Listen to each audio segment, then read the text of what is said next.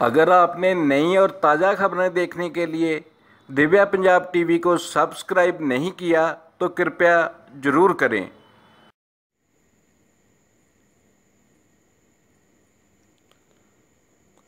ਜ਼ਿਲ੍ਹਾ ਫਿਰੋਜ਼ਪੁਰ ਦੀ ਇੱਕ ਕਾਰ ਏਜੰਸੀ ਵਿੱਚ ਕੰਮ ਕਰ ਰਹੀਆਂ ਤਿੰਨ ਲੜਕੀਆਂ ਨੇ ਏਜੰਸੀ ਮਾਲਕ ਤੇ ਲਗਾਏ ਛੇੜਛਾੜ ਕਰਨ ਦੇ ਦੋਸ਼ ਮੌਕੇ ਤੇ ਮਿਲੀ ਜਾਣਕਾਰੀ ਅਨੁਸਾਰ ਫਿਰੋਜ਼ਪੁਰ ਵਿਖੇ Sheikh Farid automobile limited car agency ਵਿੱਚ ਕੰਮ ਕਰ ਰਹੀਆਂ ਤਿੰਨ ਲੜਕੀਆਂ, ਪ੍ਰਦੀਪ ਕੌਰ, ਸਿਮਰਨ ਕੌਰ, ਅਮਨਦੀਪ ਕੌਰ ਨੇ ਦੱਸਿਆ ਕਿ ਏਜੰਸੀ ਦੇ ਮਾਲਕ ਵਿਵੇਕ ਗਰਗ, ਪੁੱਤਰ ਹਰਗੋਬਿੰਦ ਗਰਗ ਉਹਨਾਂ ਨੂੰ ਅਕਸਰ ਤੰਗ ਪਰੇਸ਼ਾਨ, ਗਾਲੀ ਗਲੋਚ ਦੇ ਨਾਲ ਛੇੜਛਾੜ ਕਰਦਾ ਰਹਿੰਦਾ ਏ।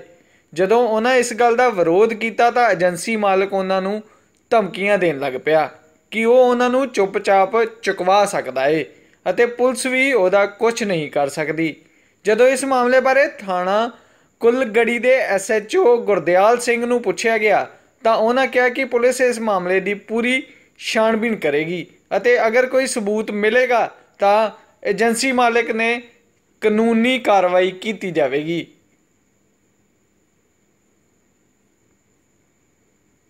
ਤੇ ਬਾਈ ਚਾਂਸ ਸਾਨੂੰ ਕੁਝ ਹੁੰਦਾ ਉਸ ਦਾ ਜ਼ਿੰਮੇਵਾਰ ਵਿਵੇਕ ਗਰਗ ਹੋਏਗਾ ਦੋਨੋਂ ਲੜਕੀਆਂ ਦਾ ਵਿਵੇਕ ਗਰਗ ਹੋਏਗਾ। ਸਾਡੇ ਘਰ 'ਚ ਜਾਂ ਸਾਡੀ ਫੈਮਿਲੀ ਨੂੰ ਕੋਈ ਵੀ ਪ੍ਰੋਬਲਮ ਹੁੰਦੀ ਉਹਦਾ ਜ਼ਿੰਮੇਵਾਰ ਵਿਵੇਕ ਗਰਗ ਹੋਏਗਾ। ਤਾਂ ਸ਼ੋਸ਼ਣ ਕੀਤਾ ਮੈਂਟਲੀ ਡਿਸਟਰਬ ਕੀਤਾ ਜਾਂਦਾ ਅਪਮਾਨ। ਅਪਮਾਨ ਕੀਤਾ ਜੀ ਇੱਥੋਂ ਤੱਕ ਕਿ ਕੈਬਿਨ 'ਚ ਬੁਲਾ ਕੇ ਅਪਮਾਨ ਕਰਦੇ ਉਹ ਅੱਖਰ ਜਿਹੜਾ ਸਾਰੀ ਦੁਨੀਆ ਦੇ ਸਾਹਮਣੇ ਜੋ ਕਸਟਮਰਸ ਆਉਂਦੇ ਨੇ ਲੋਕ ਆਉਂਦੇ ਨੇ ਉਹਨਾਂ ਦੇ ਸਾਹਮਣੇ ਸਾਡਾ ਅਪਮਾਨ ਕੀਤਾ ਜਾਂਦਾ।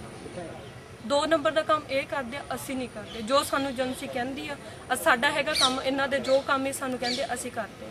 ਇੱਥੋਂ ਤੱਕ ਕਿ ਕਾਫੀ ਲੜਕਿਆਂ ਨਾਲ, ਕਾਫੀ ਮਤਲਬ ਕਿ ਪੂਰੇ ਗਰੀਬ ਲੋਕਾਂ ਨਾਲ ਵੀ ਧੱਕਾ ਹੋਇਆ ਵਾ ਇਹਨਾਂ ਦੀ ਕੰਟੈਂਟ ਇਹੀ ਕਰਵਾਇਆ ਕਿ ਸਾਨੂੰ ਗਲਤ ਬੋਲਿਆ ਗਿਆ। ਗਲਤ ਮਤਲਬ ਗਲਤ ਬੋਲ ਵਰਤੇ ਗਏ ਨੇ ਜੋ ਸਾਡੇ ਲਈ। ਜੋ ਮਤਲਬ ਕੋਈ ਨਹੀਂ ਬੋਲਦਾ ਆਪਣੀਆਂ ਲੜਕੀਆਂ ਨੂੰ ਜਾਂ ਕਰਨੇ, ਜਿਨ੍ਹਾਂ ਦੇ ਘਰੇ ਧੀ ਭੈਣਾਂ ਹੁੰਦੀਆਂ, ਉਹ ਕਦੇ ਨਹੀਂ ਬੋਲਦਾ ਇਦਾਂ ਦੀ ਗੱਲ। ਇਹਨਾਂ ਨੇ ਸਾਨੂੰ ਮੇਰੇ ਨਾਲ ਤੀਜੀ ਵਾਰੀ ਇਹ ਵਾਕਾ ਹੋ ਚੁੱਕਿਆ। ਬਸ ਸਖਤ ਕਾਰਵਾਈ ਕੀਤੀ ਜਾਵੇ, ਸਾਨੂੰ ਇਨਸਾਫ ਦਿਲਾਇਆ ਜਾਵੇ। ਠੀਕ ਹੈ। ਇਹ ਕੀ ਨਾਮ ਤੁਹਾਡਾ? ਸਰ ਪ੍ਰਦੀਪ ਨਾਮ ਹੈ ਜੀ ਮੇਰਾ। ਮੈਂ ਸ਼ੇਖ ਫਰੀਦ ਆਟੋਮੋਬਾਈਲ ਲਿਮਟਿਡ 'ਚ ਕੰਮ ਕਰਦੀ ਹਾਂ ਜੀ। ਸਾਡੀ ਅਸੀਂ ਇੱਥੇ ਕੰਪਲੇਂਟ ਕਰਨ ਆਏ ਆ ਆਪਦੇ ਮਾਲਕ ਦੇ ਖਿਲਾਫ ਵਿਵੇਕ ਗਰਗ ਦੇ ਖਿਲਾਫ ਜੋ ਕਿ ਬਹੁਤ ਬਹੁਤ ਗਲਤ ਗਲਤ ਗੱਲਾਂ ਬੋਲਦਾ ਹੈ ਜੀ। ਗਾਲਾਂ ਕੱਢਦਾ ਜੀ ਸ਼ੋਰੂਮ ਦੇ ਵਿੱਚ ਜੀ। ਤੇ ਹਮੇਸ਼ਾ ਉਹਨੂੰ ਐਂ ਲੱਗਦਾ ਕਿ ਉਹਨੇ ਪੈਸਾ ਮਤਲਬ ਸਾਨੂੰ ਜੌਬ ਤੇ ਰੱਖਿਆ ਤੇ ਸਾਨੂੰ ਖਰੀਦ ਲਿਆ ਹੋਇਆ ਉਹਨੇ। ਮਤਲਬ ਇੰਨਾ ਹਰਾਸਮੈਂਟ ਕਰਦੇ ਆ ਪਰੇਸ਼ਾਨ ਕਰਦੇ ਆ ਸਰ ਸਵੇਰ ਤੋਂ ਲੈ ਕੇ ਸ਼ਾਮ ਤੱਕ ਬਹੁਤ ਜ਼ਿਆਦਾ। ਹੁਣ ਤੁਸੀਂ ਕੀ ਕਰਨਾ ਚਾਹੁੰਦੇ ਹੋ? ਸਰ, ਅਸੀਂ ਇਹ ਚਾਹੁੰਦੇ ਕਿ ਉਹਨਾਂ ਤੇ ਬਣਦੀ ਕਾਰਵਾਈ ਕੀਤੀ ਜਾਵੇ ਜੀ। ਜਿੰਨਾ ਹੋ ਸਕੇ ਉਹਨਾਂ ਤੇ ਕਾਰਵਾਈ ਕੀਤੀ ਜਾਵੇ, ਜਿਹੜੀਆਂ ਉਹ ਗਲਤ ਗੱਲਾਂ ਬੋਲਦੇ ਆ, ਸਟਾਫ ਨੂੰ ਪਰੇਸ਼ਾਨ ਕਰਦੇ ਆ, ਉਹਨਾਂ ਦੇ ਵਿਰੁੱਧ ਕਾਰਵਾਈ ਹੋਵੇ। ਤਾਂ ਗਾਲਾਂ ਕੱਢਦੇ ਆ ਜੀ ਕੁੱਤੀ, ਦਿੱਲੀ ਹਰਾਮ ਦੀ ਕਹਿੰਦੇ ਜਿਹੜੇ ਕਿ ਅਸੀਂ ਘਰ ਦੀ ਘਰ ਚ ਵੀ ਨਹੀਂ ਸੁਣੀਆਂ। ਇਹੋ ਜਿਹੀਆਂ ਗੱਲਾਂ ਸਾਨੂੰ ਕਹਿੰਦੇ ਨੇ। ਅਸੀਂ ਕਿਉਂ ਸੁਣੀਏ? ਜੇ ਸਾਨੂੰ ਪੈਸੇ ਦਿੰਦੇ ਆ, ਠੀਕ ਹੈ, ਤੇ ਅਸੀਂ ਕੰਮ ਵੀ ਕਰਕੇ ਦਿੰਨੇ ਆ, ਤਾਂ ਹੀ ਸਾਨੂੰ ਪੈਸੇ ਦਿੰਦੇ ਨੇ ਉਹ। ਫ੍ਰੀ ਚ ਨਹੀਂ ਦਿੰਦੇ ਸਾਨੂੰ ਪੈਸੇ। ਸਰ ਕੰਪਲੀਟ ਕਰਦੀ ਹੈ ਜੀ। ਬਟ ਸਾਨੂੰ ਉਮੀਦ ਨਹੀਂ ਹੈਗੀ ਕਿ ਸਾਡੇ, ਮਤਲਬ ਕੋਈ ਹੱਲ ਕਰਨਗੇ ਇਹ ਸਾਡਾ, ਕਿਉਂਕਿ ਸਾਡੇ ਮਾਲਕ ਦੀ ਪਹੁੰਚ ਬਹੁਤ ਦੂਰ ਤੱਕ ਆ। ਉਹਨਾਂ ਦੇ ਸਾਲਾ ਸਾਹਿਬ ਜੀ ਜੱਜ ਨੇ, ਤੇ ਔਰ ਅਸੀਂ ਕੱਲ ਪੀਟੀਸੀ ਨਿਊਜ਼ ਤੇ ਵੀ ਕੀਤੀ ਸੀਗੀ, ਉਦੋਂ ਤਾਂ ਕਾਫੀ ਸਾਰੀਆਂ ਕੁੜੀਆਂ ਨੇ ਬਿਆਨ ਦਿੱਤੇ ਸੀ, ਪਰ ਉਹਨੂੰ ਦੱਬ ਦਿੱਤਾ ਗਿਆ। ਉਹ ਨਿਊਜ਼ ਹੀ ਨਹੀਂ ਆਈ ਟੀਵੀ ਤੇ ਤੇ ਹੁਣ ਸਾਨੂੰ ਇਹਨਾਂ ਤੋਂ ਵੀ ਉਮੀਦ ਨਹੀਂ ਹੈਗੀ ਵੀ ਇਹ ਸ਼ਾਇਦ ਕੁਝ ਕਰਨਗੇ ਵੀ। ਤੁਸੀਂ ਕੀ ਕਹਿਣਾ ਚਾਹੁੰਦੇ ਹੋ? ਸਰਕਾਰ ਦਾ ਕੋਈ ਅਸੀਂ ਅਸੀਂ ਇਹ ਕਹਿਣਾ ਚਾਹੁੰਦੇ ਹਾਂ ਕਿ ਜੇ ਮਤਲਬ ਕੋਈ ਵੀ ਬੰਦਾ ਜਿਹੜਾ ਇੰਨਾ ਵੱਡਾ ਅਦਾਰਾ ਚਲਾ ਰਿਹਾ ਉਹਨੂੰ ਐਟਲੀਸਟ ਅਕਲ ਤਾਂ ਹੋਵੇ ਕਿ ਮੈਂ ਕੁੜੀਆਂ ਨੂੰ ਕਿਵੇਂ ਰੱਖਣਾ ਹੈ ਕੁੜੀਆਂ ਕੰਮ ਕਰਦੀਆਂ ਅਸੀਂ ਘਰੋਂ ਆਈਆਂ ਇਹਦੇ ਵਾਸਤੇ ਨਹੀਂ ਆਈਆਂ ਅਸੀਂ ਅਸੀਂ ਕੰਮ ਕਰਨ ਆਈਆਂ। ਅਸੀਂ ਇਹਦੇ ਖਰੀਦੀਆਂ ਹੋਈਆਂ ਨੇਗੀਆਂ। ਮਨ ਸਿੰਘ।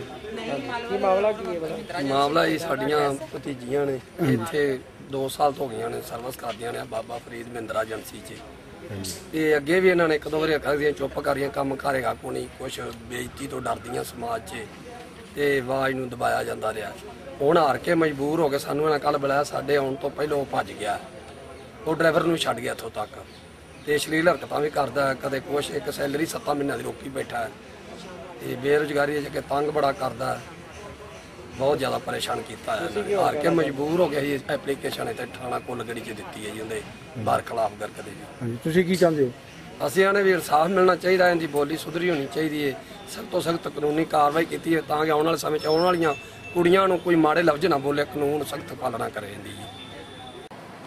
ਇਹ ਜਿਹੜੀ ਦਰਖਾਸਤ ਅੱਜ ਇਹਨਾਂ ਨੇ ਦਿੱਤੀ ਹੈ ਵਿਵੇਕ ਗਰਗ ਸਾਨੂੰ ਹਰਗੋਬਿੰਦ ਵਾਸੀ ਕੋਟਪੁਰਾ ਦੇ ਖਿਲਾਫ ਪ੍ਰਦੀਪ ਕੌਰ ਪੁੱਤਰੀ ਜਰਨੈਲ ਸਿੰਘ ਅਸੀਂ ਲਿਖੀ ਗੰਦੇ ਵਗੈਰਾ ਬੱਚੇ ਹੈਗੇ ਆ। ਇਸ ਸੰਬੰਧ ਵਿੱਚ ਐਸਏ ਕਰਮਜੀਤ ਨੂੰ ਮਾਰ ਕੀਤੀ ਹੈ ਪੜਤਾਲ ਕਰਕੇ ਜਿਹੜੇ ਤੱਥ ਸਾਹਮਣੇ ਲਿਆ ਕੇ ਕਾਰਵਾਈ ਹੋਣੀ ਚਾਹੀਦੀ ਅਸ਼ਵਨੀ ਗੁਲਾਟੀ ਦਿਵਿਆ ਪੰਜਾਬ ਟੀਵੀ ਤਲਵੰਡੀ ਭਾਈ।